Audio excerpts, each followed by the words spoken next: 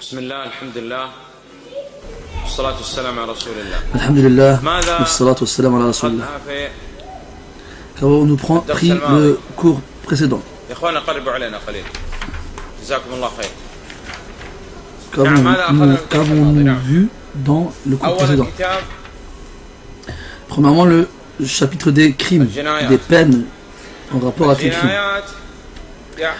c'est le fait d'agresser euh, la, personne ou autre. C'est-à-dire soit on tue, soit on agresse. C'est dans ce sens-là. Agression physique ou homicide. On a vu que dans l'homicide, soit il était volontaire, soit il était involontaire, soit il était, il était proche du volontaire. Le volontaire, il a l'intention de tuer. et l'outil utilisé euh, tue. Et il sait que le, la personne qu'il va tuer est quelqu'un qui n'a pas le droit de tuer. S'il n'a pas l'intention de tuer, mais il a l'intention d'agresser, de faire euh, du mal à autrui, et généralement l'outil utilisé ne, va pas apporter la mort, alors ça c'est proche du, volontaire, mais ça ne l'est pas. Les juges chez nous, doivent obligatoirement regarder l'outil qui, qui a servi à tuer. Généralement, cet outil-là sert de pièce à conviction qui se trouve au tribunal. Donc il l'observe, il l'étudie, étudie, et après il détermine, détermine si ou non elle est, faite pour tuer. Maintenant, si, si le, le, cas euh, implique l'application d'une peine, comme le talion par exemple, Comment est-ce qu'on applique la sentence chez nous Premièrement, il faut un juge. Et avec lui, des fois, il y a d'autres juges. Ensuite, le, verdict est, soumis au juge du au, tribunal, c'est-à-dire la présidence du tribunal. Après la présidence du tribunal, il y a un autre corps qui est, là pour distinguer, pour étudier le, verdict. Ensuite, on a enfin le, verdict qui est, on a pardon le, verdict qui est présenté euh, au tribunal euh, suprême et enfin le verdict qui est présenté au gouverneur. Donc il faut, passer pour toutes ces, étapes-là pour que le, verdict, c'est-à-dire la sentence, soit euh, à, exécutée. أن فلان كافر أو لا لابد أن يخرج في هذا Et même الصف- euh, le صف fait d'a- d'a- d'appliquer le jugement de l'excommunion sur une personne, ça suit, أمور ça suit الردة exactement le même والسلام procédé عافية وكذا. en Arabie.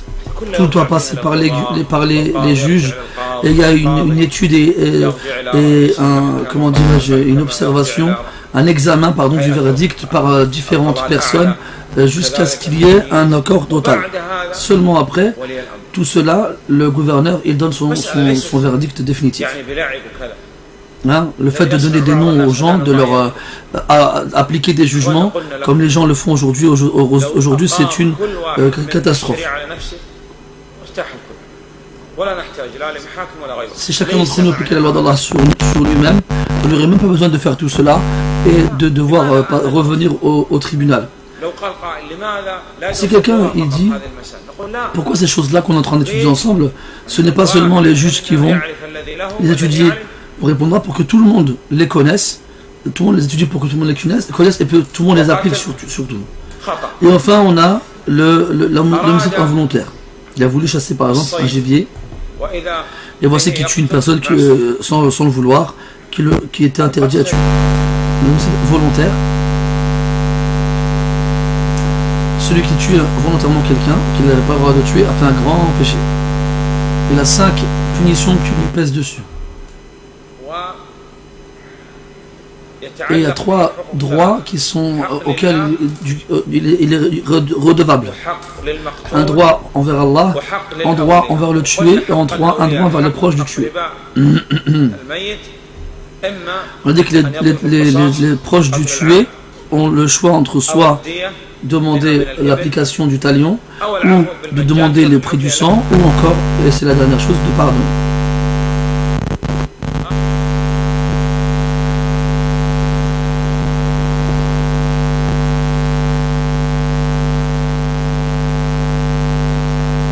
Et on a le, le deuxièmement, on a l'homicide proche du volontaire. Euh, il a un péché, et là, euh, il, doit, payer le prix du sang. Et il n'a pas de, de, peine appliquée sur lui. Et celui qui a tué involontairement, il n'a pas de péché, mais il doit payer le prix du sang quand même. On a cité dans le corps ce qui se dit une fois et ce qui se répète plusieurs fois. Donc soit une fois, soit deux fois, soit quatre fois, soit dix fois, soit trente-deux fois.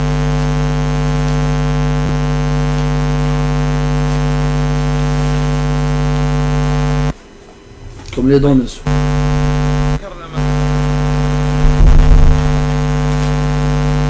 Après, on a dit comme condition, on a dit qu'il fallait des conditions pour que le talion soit euh, applicable, que, le tueur soit responsable, c'est-à-dire pubère et, euh, et de raison. Il faut que le tué soit une des personnes qu'on n'a pas le droit de tuer. On tue, euh, c'est-à-dire on ne tue pas le musulman, le musulman, le, et les, non-musulmans avec lesquels on a fait un pacte, avec lesquels il y on, a, on a accordé la sécurité, et enfin ceux qui euh, ont, droit à la sécurité en payant l'impôt. Euh, on ne tue pas un musulman s'il a tué un mécréant. Et si un homme tue une femme ou bien une femme a tué un homme, il n'y a pas de différence. Tout le monde c'est pareil.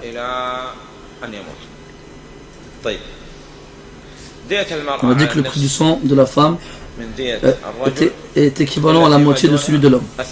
Tant que ça n'atteint pas le euh, tant que ça n'atteint pas le, tiers. Après, on, est rentré dans les, dans les peines. On a parlé des peines euh, en rapport avec, avec, le, avec, la, avec la fornication. Il y a aussi pour euh, l'accusation de la fornication, pour le vol, les, brigands.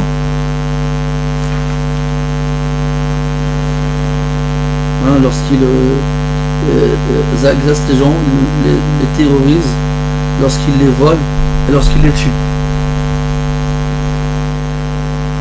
Donc pour chacune de ces catégories-là, on a euh, un jugement différent. Donc il, s'il agresse quelqu'un, donc il le terrorise, il le pille et il le tue, alors on le tue et on le suspend si il l'agresse et il l'effraie et il le pille, alors on lui coupe la main droite et le pied gauche. S'il a juste agressé et effrayé, on l'exile. Après on a parlé des, euh, rebelles qui sont un groupe de musulmans qui ont une puissance et un nombre nécessaire pour faire pour renverser le, le pouvoir euh, suite à une ambiguïté. Donc le gouvernement, il soit premièrement il a l'obligation de renvoyer des, des savants afin de les euh, de, débattre avec eux et de leur prouver qu'ils sont dans l'erreur. Et si jamais ils s'obstinent, alors on, il les combat afin, afin de, les, de, leur, de les forcer d'arrêter euh, ce coup d'État. Et, on, on, fait tout son possible pour ne pas les tuer. Et c'est celui qui c'est parmi eux quelqu'un, quelqu'un il s'enfuit, on ne le recherche pas. Et on ne prend pas leurs biens et ainsi de suite. Après l'auteur, c'est comme s'il nous disait, n'oublions pas qu'on est dans le chapitre en relation avec les peines, euh, euh, les sentences juridiques. Et là, on va voir le jugement de l'apostat. Et pourquoi est-ce qu'il cite euh, Et pourquoi il a dit quel est le jugement de l'apostat Il n'a pas dit le, la sentence de l'apostat, alors que dans le, dans le chapitre, on rapporte les jugements, les sentences.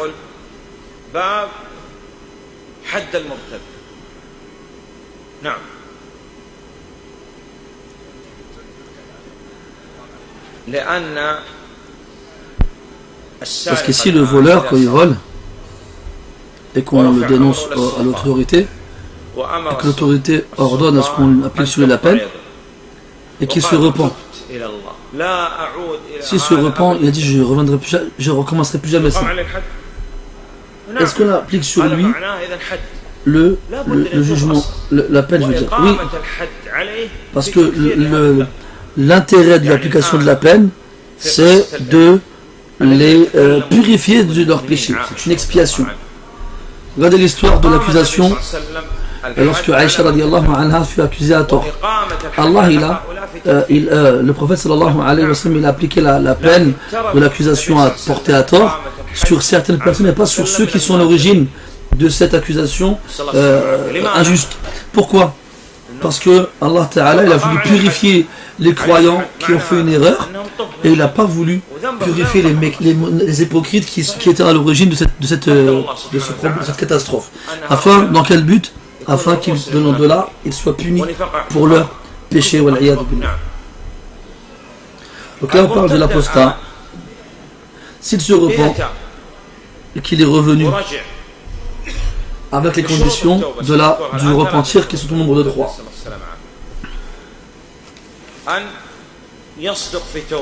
Première condition, qu'il soit sincère et véridique dans son repentir. C'est-à-dire qu'on voit les traces de la, du, du- du regret dans, euh, dans, son, dans son repentir. On va, il va tracer de la prière, il va faire le pèlerinage, il va jeûner, ainsi de suite. الثالث أن يتبرأ مما قال يقول Hein, il faut qu'il se désavoue du, péché qu'il a accompli.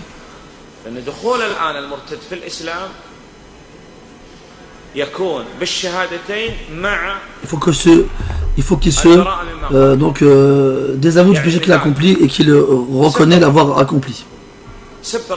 Maintenant pour l'apostat, il n'y a pas, de, on prend l'exemple de quelqu'un qui insulte Allah Azza celui qui insulte Allah Azzawajal, il a apostasié. Donc qu'est-ce qu'il doit faire? Il doit se repentir.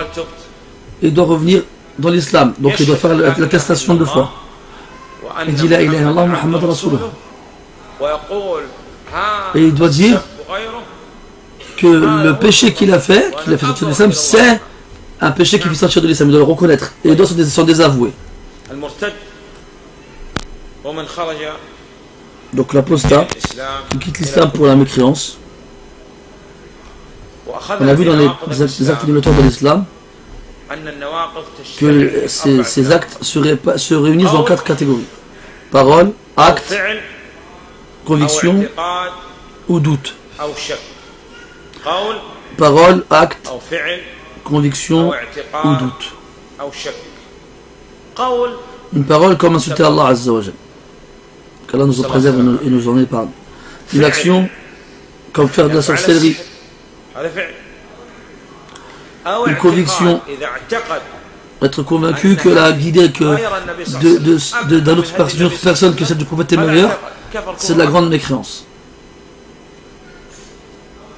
Ou un doute, il a ajouté dans la mécréance des des chrétiens. Il a un doute comme quoi Allah Ta'ala c'est le créateur, le pourvoyeur, celui qui donne la vie, celui qui donne la mort, qui gère toutes choses. Donc il a fait une grande mécréance. Et c'est ainsi qu'il sera un apostat.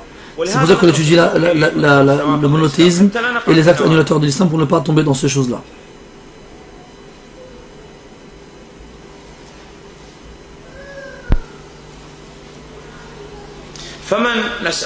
Celui qui apostasie, pour revenir, on, doit s'en référer à l'autorité. Donc ils doivent le, pousser au repentir, s'ils y voient un, intérêt. S'il se repent, il n'a rien à craindre. S'il persiste, alors il est un apostat et il doit être exécuté. On a bien expliqué que les, peines ne sont appliquées que par les, que par les savants. Et après cela, euh, par l'autorité euh, et le gouvernement. Après cela, on a le dernier chapitre, le grand chapitre qui contient le jugement, euh, les accusations, les preuves et les différents types de témoignages. Il faut savoir que le jugement est une obligation à titre communautaire. Le juge, donc il y a trois types de juges. Parmi eux, un juge qui connaît la vérité et qui l'a appliquée. Il est au paradis. Et celui-ci a une énorme récompense et un mérite pour celui qui a été juge en connaissant la vérité et qui l'a et qui a donc qui l'a décrété. Et les gens ont obligatoirement besoin de juges. Parce que parce que forcément dans, l'action des gens il y aura de la négligence. et Shaitan il, a juré par Allah qu'il fera tout pour euh, égarer les gens. Il a dit qu'il euh, ferait tout pour nous atteindre de par devant, de par derrière, et à notre droite et à notre gauche.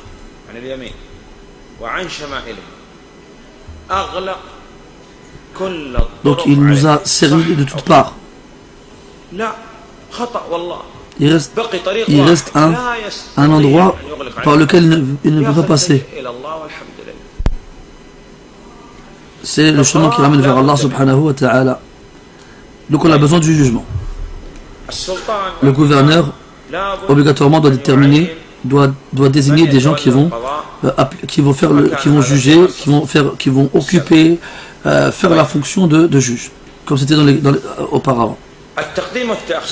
Celui qui décide de, de, de, désigner un juge ou bien d'en virer un, ça revient bien sûr au gouverneur.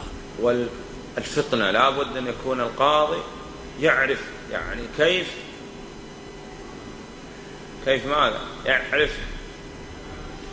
الكاذب من الصادق Donc le, le juge doit- se doit de connaître قصة euh, les gens, سليمان euh, عليه les écouter, les, les connaître, euh, et, et pour, être, sa- pour savoir qui a raison et qui a tort dans le cas où il y a des conflits entre les لديه gens.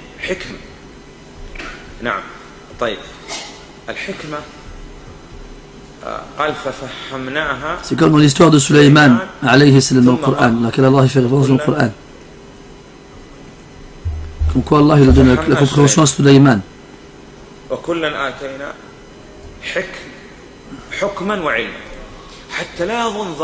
Dans cette histoire-là, cette histoire-là, euh, on, on, on, comprend que euh, parmi les, les, les, qualités de, de, de, du juge, il faut avoir de la, de la sagesse.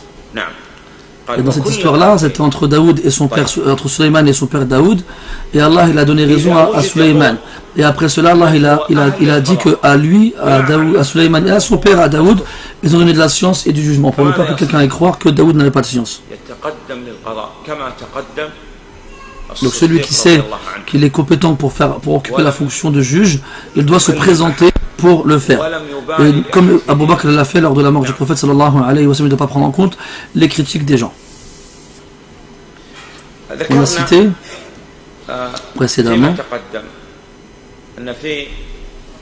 que dans l'accusation de la fornication, il fallait quatre témoins. Les témoins, combien il faut de témoins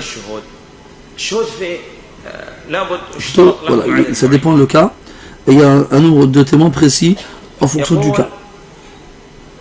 Parmi les témoignages, il y en a dans lesquels on accepte le témoignage d'une seule personne juste.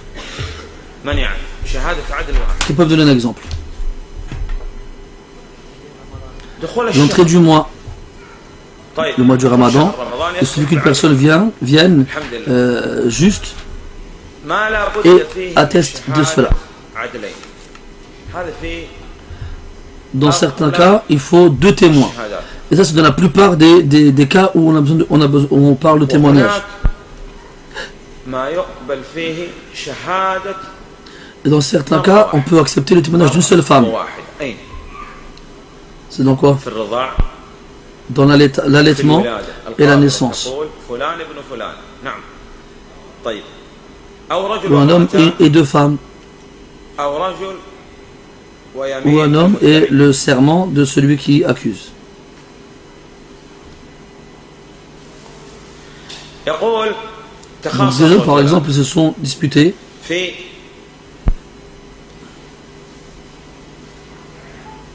dans un, dans un chameau, au bas d'un appareil, un téléphone, disons un téléphone. Le premier est rentré avec le téléphone. et le second est rentré sans rien. Donc là, à, vue d'œil, c'est le téléphone, il appartient à celui qui, est venu avec. Donc on dira, si jamais il jure que c'est le sien, eh bien on lui donnera raison euh, par le fait qu'il est juré.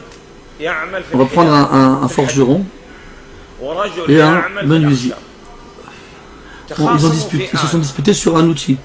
On va regarder l'outil. Euh, c'est qui qui s'en qui, sert généralement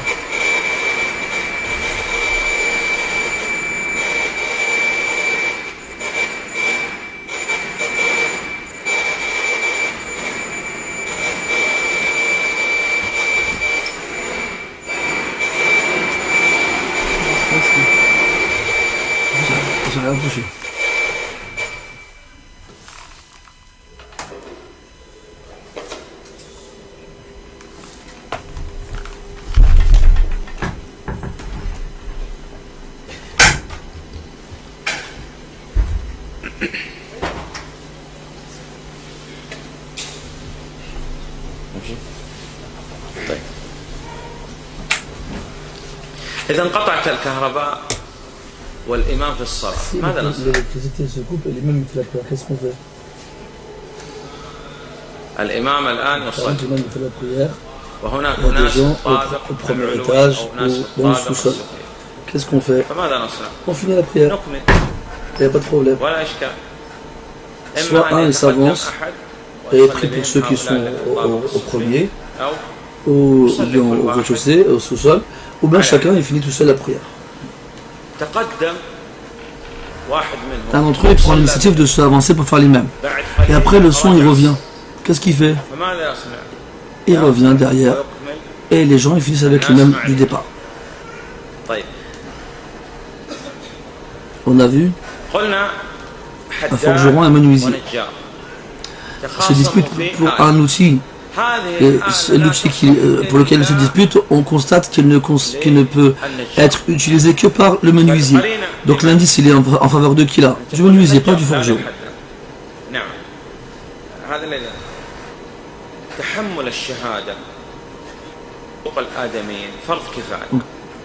témoigner dans les, cas qui ressemblent, qui concernent pardon, les êtres humains, euh, est un, acte qui a le jugement d'obligation à titre communautaire. Lorsqu'on qu'une partie s'en charge, ce n'est plus obligatoire pour les autres.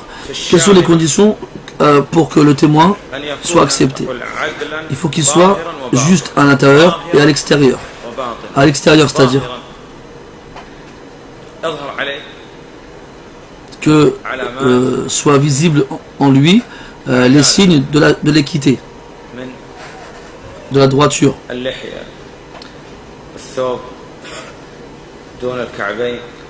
La barbe, le kamis, qui est au-dessus des, chevilles, être assidu et irrégulier, et, irrégulier dans l'accomplissement de la prière en groupe. On a vu que Mme Ahmed Rahmallah disait que le- l'homme qui délaisse la prière de l'outre euh, est une mauvaise personne dont on n'accepte pas le, le, le, le- le témoignage. نعم رضيها الناس تعرف عندنا أناس ما يمكن لا يزوج ولا يقدم في صلاة ولا غيره لا Il n'est pas يجوز permis يحرم عليه أن يشهد pour quelqu'un de, de témoigner d'une chose qu'il ignore. شيء On ne peut témoigner que pour une chose dont on est sûr à 100%. Est-ce que tu vois le soleil? Eh bien, il va répondre oui. Eh bien, tu dois témoigner euh, pour une chose dont tu es sûr de la même façon que tu l'es quand tu, euh, vois le soleil.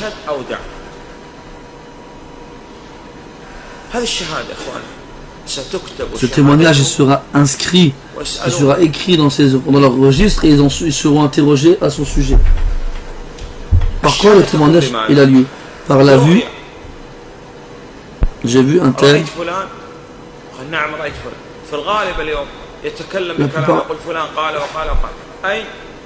La plupart, du temps, les gens euh, ils répètent ce qu'ils ont entendu sans l'avoir vu ni l'avoir entendu eux-mêmes. Ils disent quelqu'un de confiance, il me l'a dit. J'ai entendu. C'est qui, c'est qui la personne digne de confiance Nous, on veut savoir comment reconnaître la personne qui est digne de confiance. Est-ce que c'est celui dont on parle ou celui qui vient transmettre l'information? Très souvent, c'est celui qui transmet l'information qui n'est pas digne de confiance. Donc on revient au témoignage, il faut être sûr à 100% de ce qu'on vient, ce pourquoi on vient témoigner. قال والله صلى العصر الشيخ عبد اللطيف quelqu'un vient et jure que c'est Cheikh Abdullah qui a, fait- qui a présidé la prière de l'Asr. Comment cela قال نعم Est-ce que tu l'as vu Oui, je l'ai vu avec mes yeux. أو بسماع Ou bien je l'ai entendu, قال الصف الأخير. j'étais au dernier rang et j'ai entendu la voix سمعت de Cheikh صوت Abdul الشيخ Latif, عبد اللطيف euh, ce qui- يصلي comme صلاة quoi il, العصر. il di- dirigeait la prière de l'Asr. أو استفاضة إيش معنى Donc soit le oui, يعني soit la vue, soit euh, la célébrité de l'information. Par exemple, euh, le fait que l'information se soit diffusée partout à un point où personne ne l'ignore. Comme par exemple quelqu'un qui vient témoigner que Cheikh Ibn Baz est mort, parce que tout le monde sait que Cheikh est mort, sans aucune exception.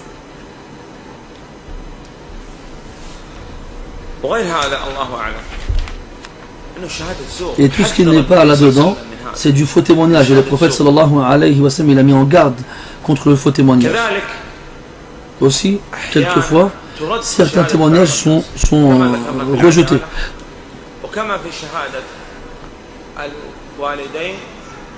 Comme le témoignage des parents pour leur enfant, ou le, le témoignage de l'enfant pour les parents, ou du mari pour la femme, et vice-versa.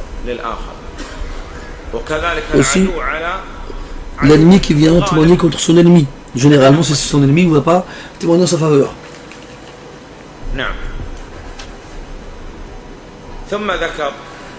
Après, l'auteur il a cité le chapitre du partage. Donc, des fois, le juge il est amené à partager certaines choses. Le, le partage, soit sera un partage obligatoire, on va, on va contraindre les gens, on va les forcer qu'ils le veuillent ou non.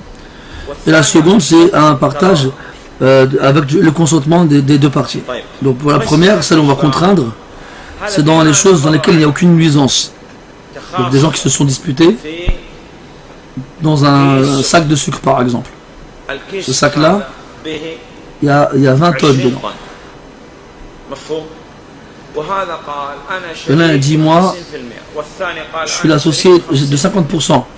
L'autre dit la même chose, associé de 50%. Un dit moi je prends tout le sac, l'autre dit moi je prends non, c'est moi qui prends tout le sac, et là, يعطي Et dans ce genre de هذا cas-là, القسم on va, on va forcer les deux parties à partager le, le- le- le fruit du conflit. هذا. ولا ولا رد عوض Parce que parce qu'il n'y a pas de nuisance dans ces partages-là. الدور الكبار والاملاك الواسعه مثليات اشياء متماثله لا فرق بين آه، هذا السكر الاول او الثاني اذا كانوا نوع Et il n'y a pas de différence dans le cas où il y a plusieurs chose euh, sur laquelle ils se, pour laquelle ils se disputent, comme euh, euh, le, différentes sortes de sucre par rapport au premier exemple, par exemple.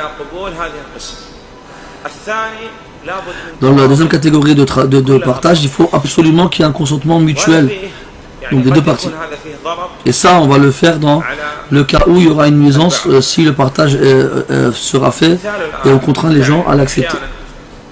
Des fois, il y a quelqu'un qui meurt, par exemple, et il laisse euh, un troupeau de, de, de, moutons, par exemple, 40. Et il a ses quatre enfants. Quatre garçons, des quatre fils, des garçons. Pour chacun d'entre eux, 10, moutons. Et tu sais aussi qu'obligatoirement, que ces bêtes-là n'auront pas tous la même valeur. Le juge dira, à nous, le juge dira, nous, on, divise la part, le troupeau comme on le peut, et après c'est à vous de vous mettre d'accord entre vous. Ça, c'est possible. Et ça, c'est la deuxième partie, la deuxième catégorie du partage, lorsque celui-ci euh, concernera le consentement mutuel. Mais s'ils ne se mettent pas d'accord, dans bien sûr cette catégorie-là, dans laquelle est consentement, qu'est-ce qu'ils font s'ils ne se mettent pas d'accord? Qu'est-ce qu'il fait le juge? ils vendent le troupeau de moutons et après, tout simplement, ils vont, euh, ils vont séparer, euh, euh, ils vont diviser la, valeur du troupeau en nombre de parts d'héritage. Et enfin, l'auteur, il a conclu ce livre-là avec le chapitre du, de la reconnaissance. Et le, pourquoi l'auteur a choisi ce chapitre-là pour conclure le, livre Par optimisme. Car le prophète Sarsim, il aimait l'optimisme, l'optimisme positif celui qui, celui comme, comme dernière euh, parole il ne reste que entre lui, euh, entre lui et le paradis que la mort. Donc le euh, l'iqrar c'est le fait de reconnaître. Reconnaître quoi? Un devoir. Et, aussi ça peut être, ça peut concerner toutes les paroles qui indiquent qu'on a un devoir en suspens.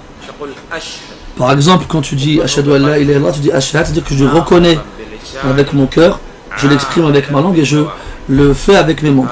Ça, c'est la reconnaissance la plus grande et la plus forte.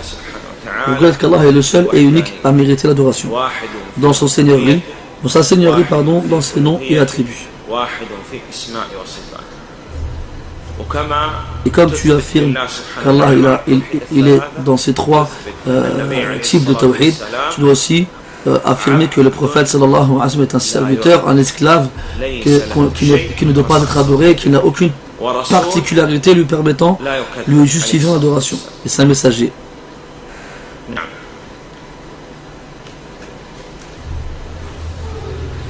وبهذا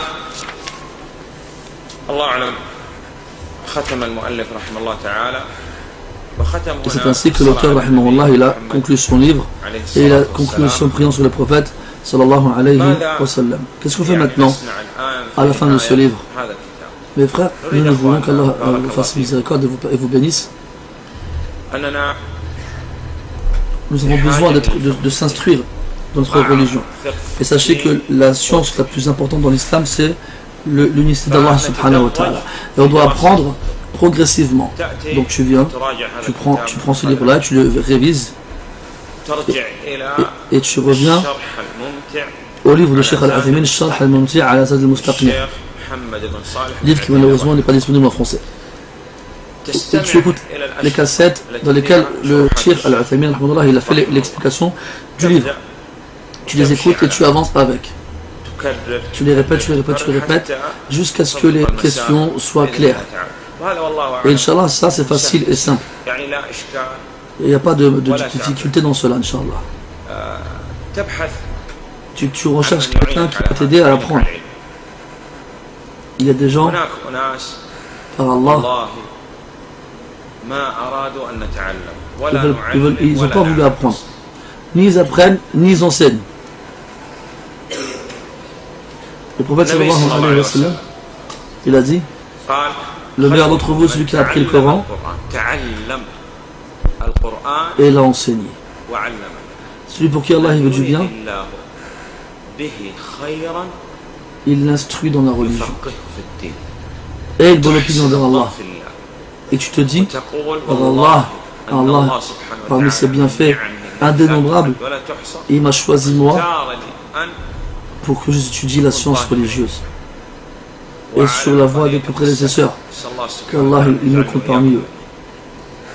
Et tu suis ce chemin, et tu apprends par cœur, et tu révises, et tu maîtrises, tu te retrouves avec tes frères et vous, et ensemble. Beaucoup de temps on perd, nous, malheureusement. Donc, choisis un moment euh, régulier où tu étudieras. Ne serait-ce qu'une heure dans la journée. Donne une heure à Allah subhanahu wa ta'ala. Que ce soit après le Fajr, après le Maghrib, après l'Isha, un, moment où apprendre, un moment pour étudier. Il n'y a, a pas de savant ici. Ah, en France ah par exemple, les autres ulama, dont les, audios sont, les sont disponibles, qu'est-ce que tu en fais? La fatwa ne t'en approche jamais et n'en parle jamais. Tu, apprends, hein, tu demandes à Allah tu appelles les gens dans les choses dans lesquelles tu as une certitude absolue, à 100%. Si tu as un doute d'un pour cent, tais-toi et ne parle pas ne fait pas de fatwa. Si quelqu'un y rentre par exemple ici et demande elle est la qibla? Tu dis quoi? Je sais pas, Allah alim, moi je fais pas de fatwa On va dire subhanallah. Ça c'est pas, c'est la réalité ça.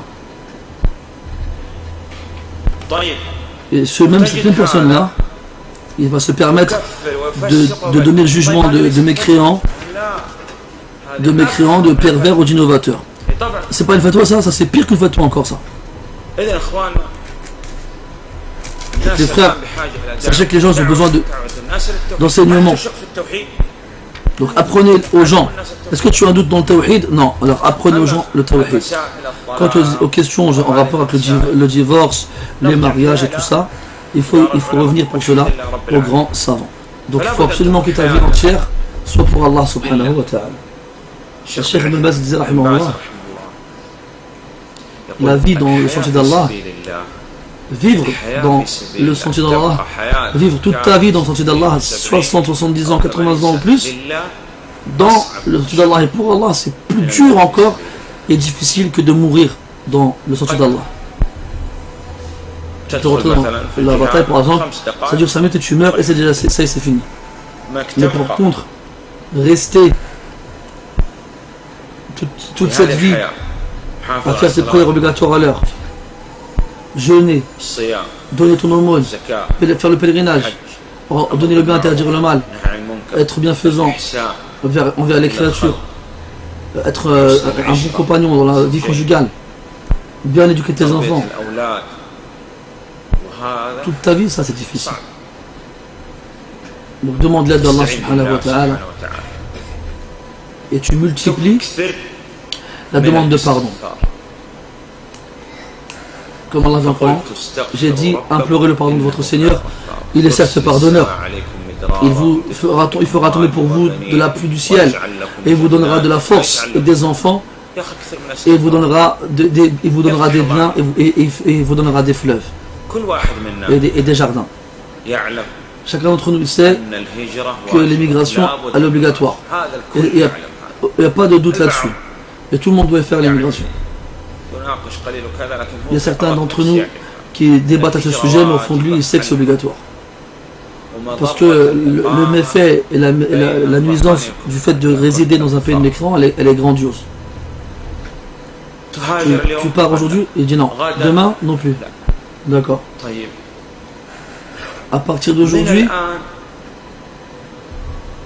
considère ta résidence en France comme étant euh, prédicateur. Tu appelles les gens à Allah Ta'ala. Tu n'as pas le droit de rester ici sans, si ce n'est pas pour appeler les gens vers Allah Subhanahu wa Ta'ala. Si vraiment tu restes ici pour appeler les gens à Allah, alors que tu n'apprends pas, tu n'enseignes pas, et tu n'invites personne à Allah, tu n'as rien à faire ici. Il y a un péché pour toi de rester ici. Donc à partir d'aujourd'hui, il faut qu'on prenne l'initiative de changer. C'est pour ça qu'on fait ce genre de séminaire. Tu sais bien que un seul séminaire ne suffit pas parce que tu sors un savant, un, étudiant et encore moins un savant. C'est pas possible. Ça, c'est des clés qu'on doit. Nous, on veut que tu, tu prennes ce chemin et que tu saches que dans cette vie-là, tu es là pour, tu as été créé pour être un savant. Si tu te préoccupes ici-bas avec le devoir d'Allah tu feras partie des, gens heureux. Donc, mets en pratique tout ce que tu apprends le plus possible, en fonction de ta capacité. Mon frère, tu peux être un prédicateur, un prédicateur vers Allah.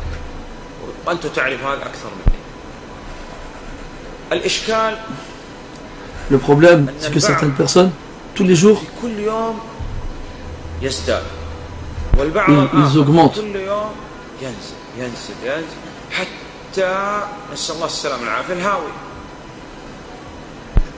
À la plus il faut absolument que tu, te, tu, te, tu changes, que tu appelles les gens à Allah et que tu patientes, tu donnes le bien, que tu interdis le mal.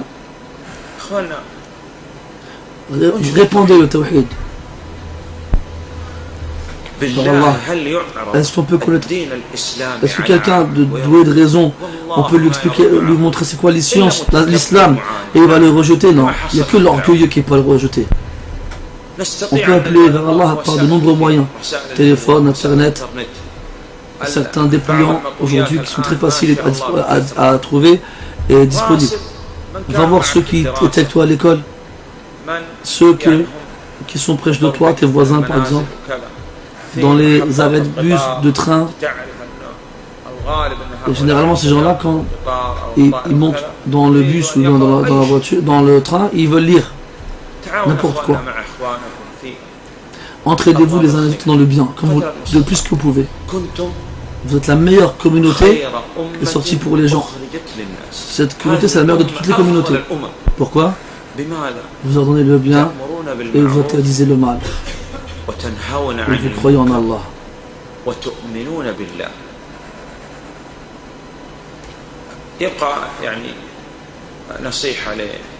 Il reste à, faire un conseil à nos, à nos sœurs, et c'est ce qu'on a dit précédemment de nombreuses fois, c'est que les ennemis de l'islam, ils veulent pervertir la femme. Et ils nous fait croire beaucoup de choses sous le couvert de la modernité et de la civilisation, comme quoi faire euh, enlever son hijab et mettre les pantalons, euh, c'était euh, c'était d'actualité et ils les ont, ils, les ont poussés à faire le mal en, en, appelant ça du bien. Alors prends garde, ma soeur, à, à écouter ces gens-là. Ceux qui appellent à la liberté aujourd'hui, en vrai, ils appellent à à l'esclavage de, de, de, du shaitan, du diable. Celui qui dit moi je suis libre, je fais ce que je veux, lui en vrai, c'est un adorateur de shaitan. Tu as été créé. Afin que tu adores Allah. Si tu, tu n'adores pas Allah, alors tu tomberas forcément dans celle de shaitan. Ils ont fui de l'esclavage pour lequel ils ont été créés et ils furent éprouvé par l'adoration de l'âme et du shaitan. Dit que tu peux faire ce que tu veux Tu as qui train L'adorateur, l'esclave. Nous sommes, nous, nous sommes un peuple à qui Allah a donné la fierté par l'islam. Et lorsqu'on la recherche cette fierté dans autre que l'islam, Allah il nous donne la, il nous avilit et nous humilie. Obligatoirement, chacun d'entre nous sera jugé le jour du jugement. Et, le jour où il les appellera, il leur dira par quoi avez-vous répondu les messagers? Avez-vous répondu aux messagers? C'est comme ça qu'Allah va t'interroger le jour du jugement. Qu'est-ce que tu as répondu à ceux qui t'ont été envoyés au prophète sallallahu alayhi wa sallam? Est-ce qu'il a transmis le message? Oui. Est-ce qu'il a, euh, est qu'il a conseiller sa communauté. Tu ne pourras dire que oui. Tu n'as aucune réponse d'autre à donner. Est-ce que tu as appris? Est-ce que tu as mis en pratique? Est-ce que tu as appelé aux gens? Les gens vont faire cela? Et on, tu, tu, te question, tu devras obligatoirement y répondre. Ibn al-Qayyim, il cite que l'esclave, quand Allah facilite l'accomplissement des obligations et il ne les, et il ne les profite, n'en profite pas. Quand Allah est ouvre les portes de l'obéissance, de l'adoration, de l'apprentissage, euh, les cassettes, les mosquées, les séminaires, le, euh, contacter les savants. Si Allah ouvre ces portes-là et que tu ne passes pas par ces portes-là, eh bien Allah il s'interposera entre toi et, cela. Et tu ne pourras plus jamais euh, y accéder par la suite. Toute ta vie. Tu ne pourras pas. Quelle est la preuve De nombreuses preuves dans le Coran indiquent cela. Par, par, parmi elles, oh, vous qui avez cru. Donc là, on appelle les croyants. Si vous êtes croyants vraiment, alors écoutez. Oh, vous qui avez cru, répondez à qui À Allah et à son messager lorsqu'il vous appelle pour ce qui vous fait vivre. Je dois répondre tout de suite. Répondez à Allah et à son messager lorsqu'il vous appelle pour ce qui, ce qui, va vous donner la vie. Et sachez, regarde la, la menace, sois attentif. Et sachez qu'Allah s'interpose entre l'homme et son cœur. Prends garde. Les portes de l'obéissance sur toi, alors pénètre sans directement. Si jamais tu ne saisis pas l'occasion, Allah s'interpose entre toi et elle. Et tu ne pourras plus jamais pénétrer par la suite. Après, je vais des exemples. Les trois euh, qui, n'ont pas suivi euh, le prophète sallallahu alayhi wa sallam lors d'une expédition militaire. Ils avaient les, moyens de partir avec eux.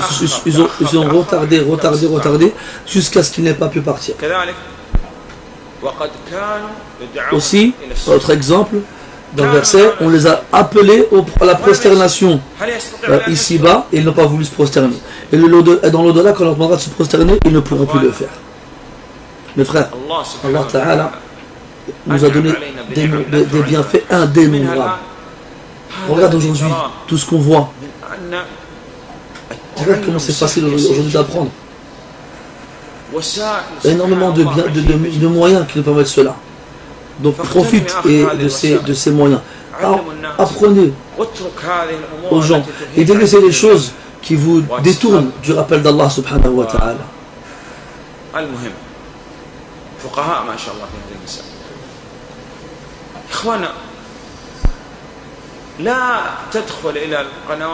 ne va pas euh, euh, regarder la télé ou aller sur Internet si ce n'est parce qu'il y a un besoin euh, nécessaire. Passe ton temps dans la lecture du Coran, lis, médite le Coran, ensuite étudie la, tradition du prophète sallallahu alayhi wa sallam. Sache que l'amour du, Coran et l'amour de la, de la musique ne se réunissent pas dans le cœur d'un croyant.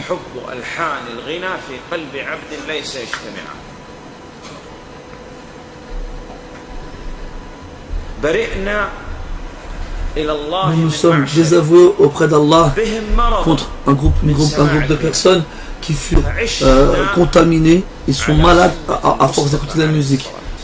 On a, on a préféré vivre avec la tradition de la, du prophète sallallahu alayhi wa sallam. Et eux, ils ont préféré vivre avec dandana dandana, hein, la musique. Et comme Allah dans le Coran, il dit Et patiente avec ceux qui invoquent leur Seigneur le matin et le soir et qui recherchent sa face, son visage, la pureté de l'intention. Et ne va pas, euh, que, tes yeux n'aillent pas regarder ailleurs. Euh, euh, dans le but de rechercher les, les bienfaits de ce bas monde. Donc reste que tes yeux, ils restent fixés sur eux et ne quitte pas ces gens de tes yeux pour regarder des choses de ce bas monde. Et n'écoute pas ceux et n'obéissent pas à ceux que, dont on a scellé le cœur. On l'a empêché notre rappel de pénétrer dans ce cœur-là. Il ne s'assoit pas aux, sciences de, aux, assises de science, ni lecture de Coran, ni de, la, tradition du prophète, ni exhortation, ni savant, ni quoi que ce soit. N'obéis pas à ces gens-là. On a empêché à leur cœur à ce que notre rappel y pénètre. Il suit, il suit ses passions. Donc il a, regardez, une des têtes de, des, groupes, des groupes égarés, Wasil ibn Atta, il est sorti du, du, du, du, cours, du, cours de Hassan al-Basri et il est devenu la tête d'un des groupes égarés les pires qui est Al-Mu'tazila. il a suivi ses, ses, passions. Et tout ce qu'il fait, c'est futile. Il n'a rien retiré ici-bas. Quand est-ce qu'il va apprendre quelque chose lorsque la mort viendra se présenter à lui? La mort revient à lui et il dira Oh Allah, fais-moi revenir. Ah, peut-être que j'arriverai à faire du bien dans ce que j'ai laissé derrière moi. Subhanallah. Toute ta vie, on t'a facilité l'obéissance. Et tu attends jusqu'à mourir pour demander euh, un, pour demander un, un, délai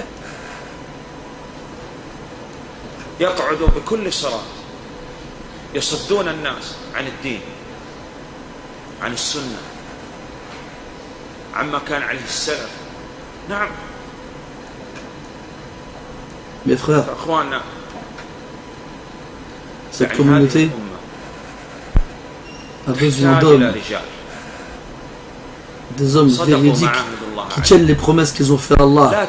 Ils ne sont pas distraits ou, préoccupés par un commerce ou bien par une vente face au rappel d'Allah. Un jour, toi, tu seras peut-être quelqu'un montrera du doigt. Qui va apprendre à tes enfants? Si ce n'est pas toi. Regarde les générations.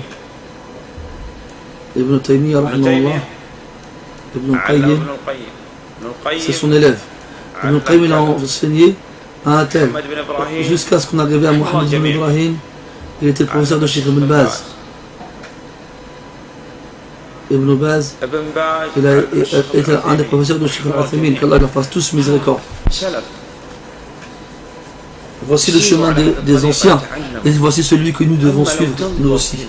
Regarde, aujourd'hui, on remarque que les gens ont délaissé la science.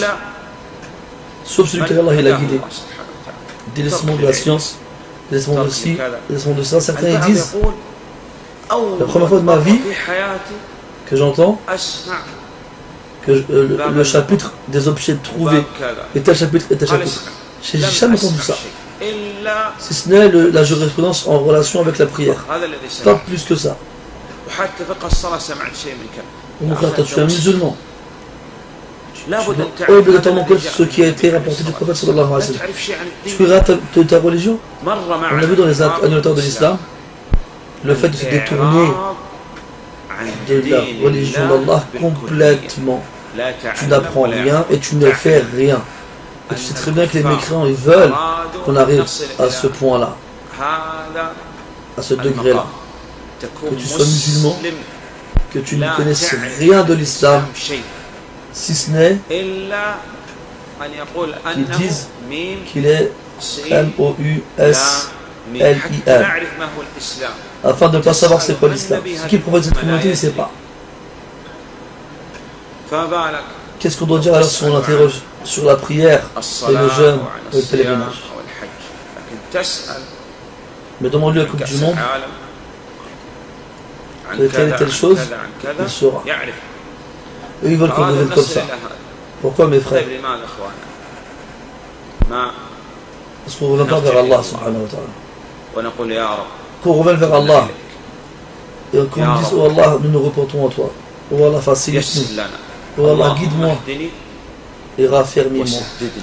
Qu'Allah nous, on demande à Allah subhanahu wa ta'ala qui nous accorde tous la réussite pour, pour, pour ceux qu'il aime et ceux qu'il agrée. Et montre-nous la vérité euh, clairement et permets-nous de la suivre. Et montre-nous le faux clairement et, et, et épargne-nous de le suivre. والله أعلم صلى الله على نبينا